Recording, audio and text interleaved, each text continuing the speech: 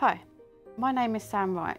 I chose to study the Master's degree in Advanced Child Protection at the University of Kent because it pre presented an opportunity to work alongside multi-agency professionals, including social workers, police and international students. My dissertation, I undertook a second, secondary data analysis, which is a method used to examine available data that has already been collected and used for other purposes. My aim was to explore the impact of emotional literacy interventions and whether these interventions could help support with self-regulation. This was done with the aim to identify the most prominent factors and challenges for ad adolescents who choose to self-harm. For many self-harm is described as an intentional self-injurious or self-poisonous behaviour and determining prevalence of self-harm is tricky because it is predominantly a private behaviour. What I discovered in the literature is that the definition of self-harm is somewhat contentious.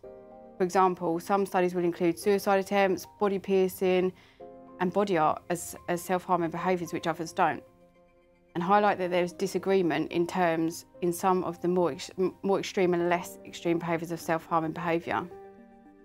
Also, according to some studies, children as young as seven can self-harm, although self-harming behaviours are reported to peak between 12 and 15 years old. However, looking through the literature, this also highlighted a clear contradiction with various age ranges included in different studies and a concern of underreporting the prevalence is debatable.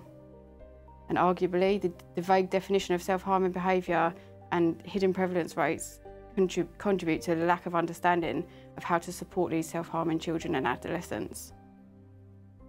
There are many reasons why children self-harm, such as alleviating unwanted emotions like so, low self-esteem um, and increasing illusion and control of difficult times, Adolescents widely report that self-harming is a coping strategy when suffering from psychological and emotional distress, feeling it's the only option they have when they're overwhelmed by circumstances and experiences.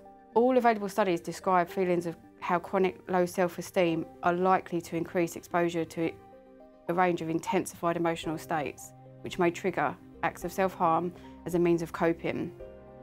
Other reasons or contributing factors for self-harm Self-harming behaviours include, but are not limited to, poor mental health, such as depression, anxiety, um, victims of physical and emotional neglect, neglect, challenging family relationships and bullying, peer pressure and gender.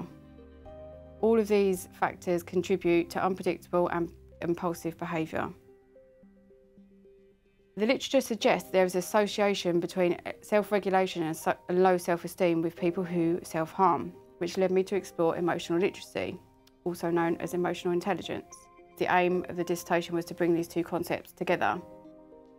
Emotional literacy is a term describing children's ability to understand their own feelings whilst considering the feelings of those around them. Despite the emphasis on the role of emotional dysregulation and, and deliberate self-harm in literature, very few studies have examined this relationship closely. Emotional literacy can be taught through the practice of targeted inter interventions and interactions which can focus on the awareness of emotion in their own self and others while developing self-regulation, empathy and resilience.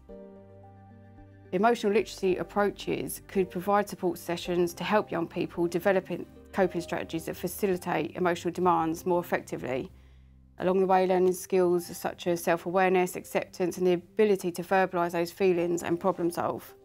Mentors and an emotional literacy support assistants, also called ELSAs, are trained to plan and deliver these programs to support these pupils in schools and educational settings with their emotional needs.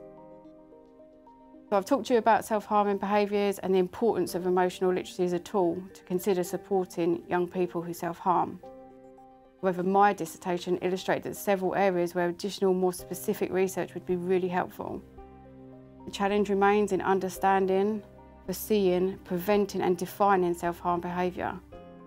Future literature needs to have a clear definition of the terminology and further work could provide precise definition on self-harm and the universal use of terminology to gather accurate research and statistics. My review suggested there is a need to ensure professionals working with children and young people are fully trained and aware of self-harming behaviours. The literature has started making early links between impulsiveness, lack of emotional control and low emotional intelligence with self-harming behaviours. I would suggest that there is a need in the future to establish whether there are stronger commonalities between self-harm and poor emotional intelligence.